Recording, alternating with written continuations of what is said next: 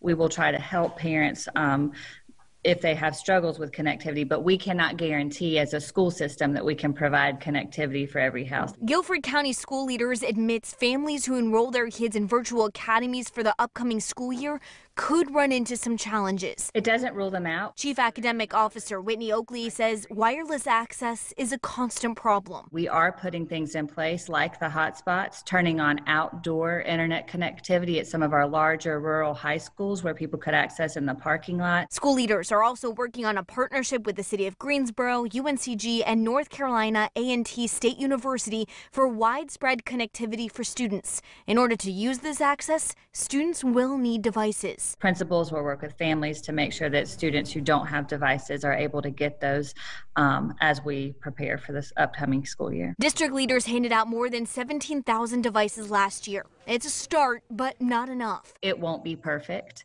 um, but it will be better than when we had to turn it around over a weekend in mid March. School officials have used complaints to find solutions to problems people had back then. They don't want a platform that looks different for one class than another. They want to be able to practice navigating online learning before it begins. While there are benefits to remote learning, this option is not for everyone. You have to provide a blend. You have to provide things that students can do on their own, but it's really important to have that time with teachers. It'll also include opportunities for small group instruction and individual check ins.